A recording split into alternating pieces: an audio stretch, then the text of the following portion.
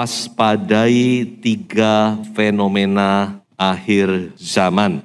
Saya mulai dengan satu ayat di dalam Markus 13 ayat yang ke-37. Apa yang kukatakan kepada kamu, kukatakan kepada semua orang. Berjaga-jagalah. Artinya waspadalah. Kalau kita melihat pesan-pesan Tuhan Yesus, yang berkaitan dengan akhir zaman selalu Tuhan Yesus berpesan waspadalah, berjaga-jagalah. So itu betapa penting kita sebagai orang percaya yang hidup di akhir zaman untuk kita berjaga-jaga, waspada. Saya mau mengangkat tiga hal di mana kita harus berjaga-jaga. Yang pertama, apa yang harus kita jaga yaitu hati kita fenomenanya adalah hati anak Tuhan itu cepat merasa puas. Memang kalau secara positif tentu ada positifnya ya kalau kita hanya membaca kalimat ini. Tapi yang saya maksud di sini adalah bagaimana sikap kita kepada kebenaran. Tuhan Yesus berkata di dalam Injil Matius dikatakan berbahagialah orang yang lapar dan haus akan kebenaran karena mereka akan di puaskan. Dengan lain kata, dalam hal kebenaran ini, justru orang yang lapar, orang yang haus itu berbahagia. Justru berbahagia. Kalau kita selalu punya rasa lapar dan rasa haus kepada kebenaran, kepada firman. Nah, masalahnya sekarang ini kan banyak orang percaya yang gampang sekali merasa puas bahkan tidak mempunyai rasa lapar dan haus akan kebenaran. Ini yang berbahaya. Jangan sampai kita ini merasa puas karena ada satu ayat berkata demikian dalam Amsal ya. Orang yang kenyang menginjak-injak madu, tetapi bagi orang yang lapar segala yang pahit dirasakan manis. Itu kan pengalaman kita. Kalau kita sudah kenyang, walaupun makanan enaknya bagaimana, ya nggak bisa. Kenyang sudah. Tapi coba kalau kita lapar sudah. Makan nasi putih sama tempe, waduh sudah nikmati ya. Bagi anak Tuhan yang lapar secara rohani, makanan rohani itu katakan pahit, katakan itu teguran, katakan itu keras, katakan itu benar-benar makanan yang apa adanya lah. Waduh rasanya itu bisa menikmati. Jadi kadang-kadang masalahnya bukan di pengkhotbah, bukan dengan khotbahnya, kadang-kadang yang masalah itu hati kita. Kalau hati kita lapar dan haus kepada kebenaran firman, apa pun itu menjadi makanan yang enak. Sebaliknya kalau hati kita sudah tidak punya appetite rohani, tidak punya selera rohani, kita sudah kehilangan selera, maka makanan yang enak pun tidak masuk. Dan kita harus tahu bahwa seseorang itu kalau sudah selera makannya berkurang, sudah nggak selera itu something wrong. Makanya kalau saudara punya anak kecil, baby, sudah jauh usah khawatir. Kadang-kadang kita khawatir dengan hal-hal, waduh anak ini gini-gini. Lihat saja selera makannya. Kalau anak itu masih makannya masih enak, aktivitasnya masih enak, masih loncat sana, loncat sini ya. Wis tenang aja, sehat ini anak. Tapi anak kalau sudah mulai ngelempret, kasih makan gak mau, nah something wrong gitu. Demikian juga dengan kehidupan rohani kita. Kalau kita sudah kehilangan selera, tidak punya selera, tidak ingin baca firman, ya toh? Tidak ingin dengar firman, kita harus waspada. Mungkin kita sedang flu rohani. Dan satu hal lagi, ini yang juga harus kita waspadai. Dikatakan karena akan datang waktunya, orang tidak dapat lagi menerima ajaran sehat, tetapi mereka akan mengumpulkan guru-guru menurut kehendaknya untuk memuaskan keinginan telinganya. Boleh saya pakai istilah junk food.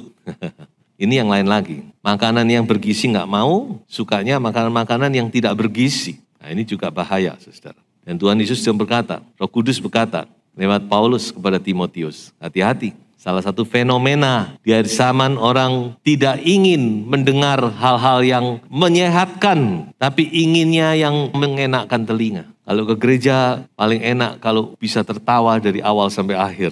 Jadi kita harus waspada. Apa yang dikatakan Petrus? Coba kita baca ayat ini. Dan jadilah sama seperti bayi yang baru lahir, yang selalu ingin akan air susu yang murni dan yang rohani, supaya olehnya kamu bertumbuh dan beroleh keselamatan. Petrus berkata, biarlah kita seperti seorang bayi yang selalu ingin dengan susu yang murni dan yang rohani. Saya masih ingat waktu anak-anak saya masih kecil. Terutama anak saya Yohan. Wah, nafsu minumnya itu besar. Kalau dia sudah lihat, itu masih di box ya. Kalau dia sudah lihat mamanya megang botol susu, uh, uh itu saudara-saudara ya, very, very, very, very excited. Wah, rasanya itu, waduh, ini tandanya orang sehat.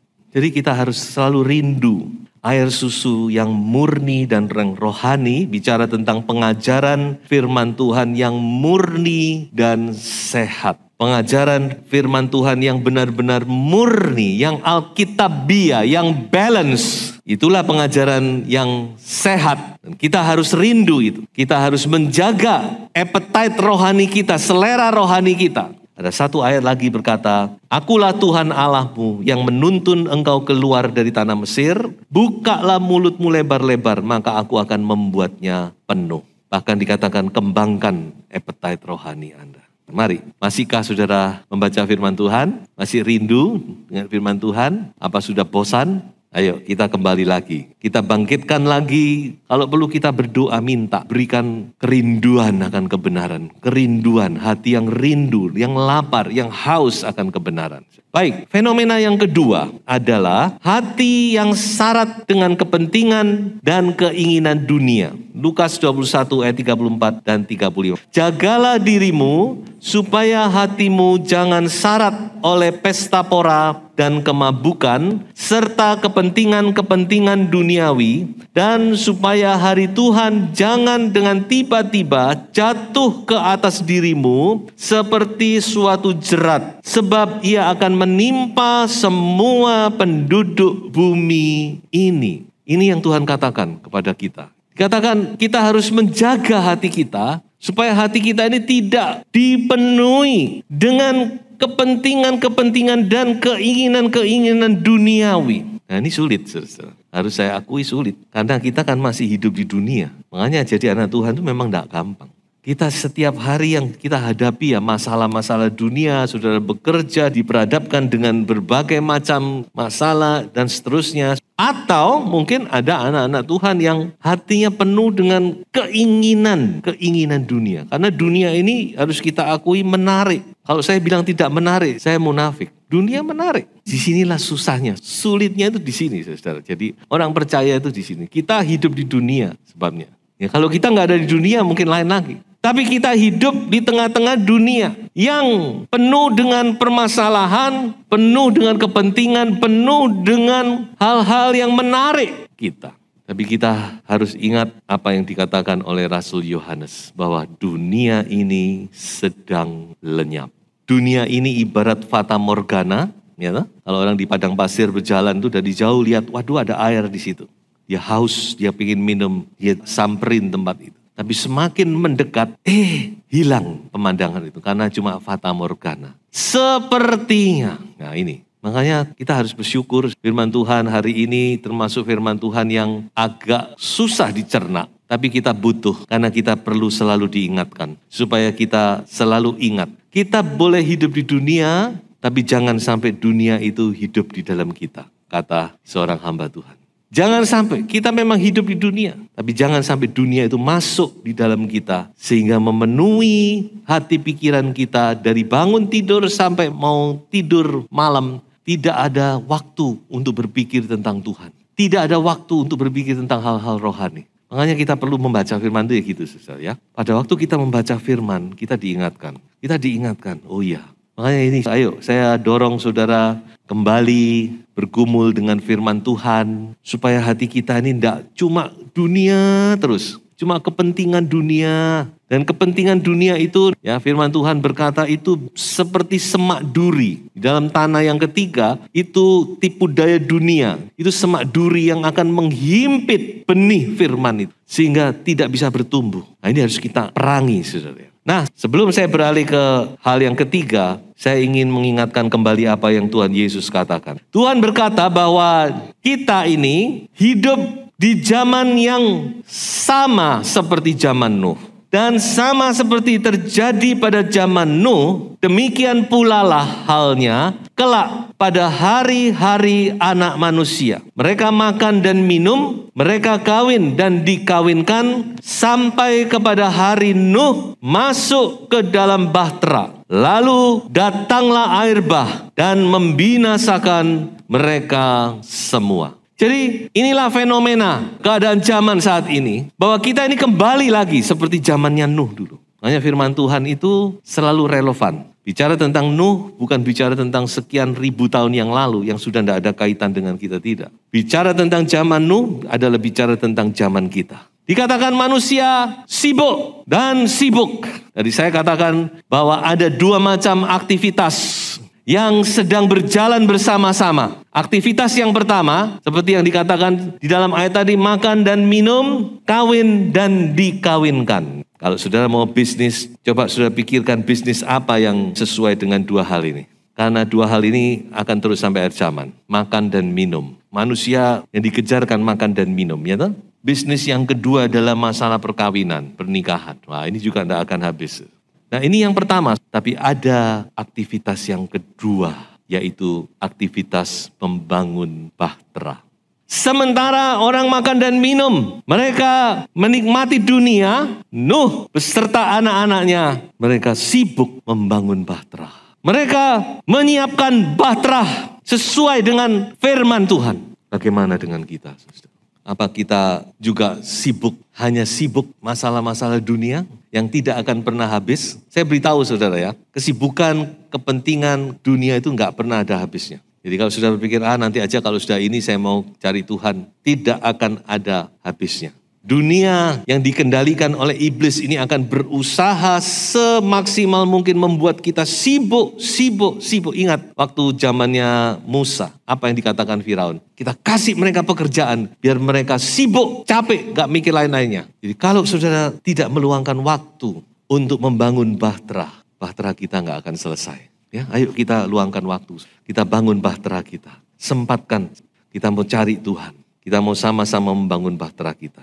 Dan saya akhiri poin ini dengan sebuah nasihat Rasul Paulus. Kita baca bersama-sama. Kolose pasal 3 ayat 1 dan 2. Karena itu, kalau kamu dibangkitkan bersama-sama dengan Kristus, carilah perkara yang di atas, di mana Kristus ada, duduk di sebelah kanan Allah. Pikirkanlah perkara yang di atas, bukan yang di bumi. Haleluya. Tuhan tolong kita supaya hati pikiran kita melekat dengan hal-hal yang di atas. Baik, yang ketiga, fenomena yang ketiga saya, saya ingatkan lagi, fenomena yang pertama yaitu cepat merasa puas rohani. Yang kedua adalah syarat dengan kepentingan-kepentingan dunia dan yang ketiga adalah mengantuk atau tertidur secara rohani. Karena itu berjaga-jagalah sebab kamu tidak tahu bila manakah tuan rumah itu pulang menjelang malam, atau tengah malam, atau larut malam, atau pagi-pagi buta, supaya kalau ia tiba-tiba datang, jangan kamu didapatinya sedang tidur. Sini ada empat macam waktu di sini. Menjelang malam, tengah malam, larut malam, pagi-pagi buta. Itu semua saat-saat orang lagi enak-enaknya tidur. Tentu saya tidak bicara tentang tidur secara jasmani ya. Kita perlu tidur cukup secara jasmani supaya tubuh kita punya pertahanan yang baik, yang sehat. Nah, mengapa kita harus berhati-hati? Sebab firman Tuhan berkata bahwa di akhir zaman ini Perumpamaan sepuluh anak darah dikatakan semua tidur. Nah ini, baik lima yang bijak, baik lima yang tidak bijak, dikatakan semua tertidur. Nah ini harus kita garis bawahi. Semua tertidur, karena dikatakan pengantin itu tidak datang-datang. Apakah ini berarti bahwa semua gereja di saat ini sedang posisi tertidur? Saya tidak tahu. Mungkin demikian. Kita ya ya oh kayak bangun-bangun padahal kita sebenarnya masih tertidur. Mungkin ya. Karena firman Tuhan berkata semua tertidur. Yang bijak tertidur, yang tidak bijak juga tertidur. Semua tidur. Tapi bedanya yang bijak punya simpenan minyak. Ya, jadi saya tidak ke sana saudara-saudara. Cuma saya mau beritahu kepada saudara inilah keadaan gereja saat ini. Cuma saya bersyukur karena Tuhan selalu ingatkan. Ya termasuk hari ini Tuhan ingatkan bukan kepada saudara saja, kepada saya sebagai pemimpin rohani. Sangat-sangat menentukan kan. Lalu dikatakan apa di dalam Amsal, kalau kita selidiki dalam Amsal, ya saudara bisa baca nanti di Amsal pasal 6 atau Amsal pasal 24. Dikatakan bahwa tidur itu identik dengan kemalasan. Jadi kata tidur, tertidur itu identik dengan kemalasan. Dan itu membuat kita kecolongan. Dan kalau saya renung-renungkan ya betul juga. Banyak kali kita tidur secara rohani karena kita mulai malas secara rohani. Jam doa kita kurangi, kita sudah malas datang ke gereja, kita malas membaca firman. Akhirnya rohani kita terlena, tertidur saudara. Sedikit demi sedikit kita menjadi anak Tuhan yang tertidur dan dikatakan membuat pakaian kita compang-camping. Membuat pakaian kebenaran kita compang-camping. Nah itulah sebabnya mari kita bangunkan diri kita. Di dalam kisah pasal yang ke-20 di situ tertulis ada seorang anak muda yang bernama Eutikus. Di saat dia mendengar firman Tuhan dalam keadaan memang larut malam, karena Paulus sedang berbicara panjang lebar, ini perpisahannya dengan penatua. Dia berbicara panjang lebar, dia berpesan ini dan itu di Troasit. Dikatakan Eutikus dia dengar-dengar sambil duduk di jendela. Dan lama-lama dia terlena, tertidur, tertidur, tertidur. Dan namanya aja orang tidur. Uh, jatuh dia. Dari lantai tiga jatuh ke lantai satu, mati. Firman Tuhan berkata dia mati. Haleluya. Tapi untung masih ada Paulus oleh Paulus dia didoakan dan dia bangun kembali. Haleluya. Mungkin ada di antara kita yang keadaan seperti Eutikus. Sudah hampir jatuh nih. Ayo bangun. Kita mau bangun. Kita mau bersemangat kembali mengiring Tuhan. Seperti yang dikatakan oleh Rasul Paulus di dalam Roma pasal 13 ayat yang ke-11. Hal ini harus kamu lakukan karena kamu mengetahui keadaan waktu sekarang. Yaitu bahwa saatnya telah tiba bagi kamu untuk bangun dari tidur Sebab sekarang keselamatan sudah lebih dekat bagi kita daripada waktu kita menjadi percaya. Haleluya. Kita semakin mendekati dikatakan saat keselamatan kita. Mari kita bangun. Amin. Haleluya. Jangan terlena, jangan terlelap, tapi bangkitlah dan bercahayalah. Haleluya. Sebab Tuhan segera akan datang. Tuhan Yesus baik.